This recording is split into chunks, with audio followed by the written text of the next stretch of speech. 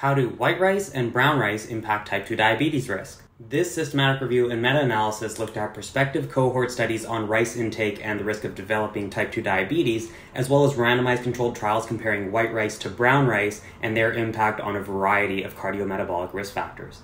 They found that those consuming the most white rice had a 16% higher risk of developing type 2 diabetes compared to those consuming the least. But below about 300 grams a day, white rice didn't appear to be associated with risk. Above 300 grams a day, each 158 gram serving was associated with a 13% higher risk. On the other hand, brown rice consumption was associated with an 11% lower risk, and each 50 gram serving was associated with a 13% lower risk. And according to the randomized controlled trials, replacing white rice with brown rice improved systolic blood pressure and tended to improve other cardiometabolic risk factors, but those results were not statistically significant. However, previous trials have suggested improvements in other risk factors in people with prediabetes or type 2 diabetes. So it seems like a decent swap.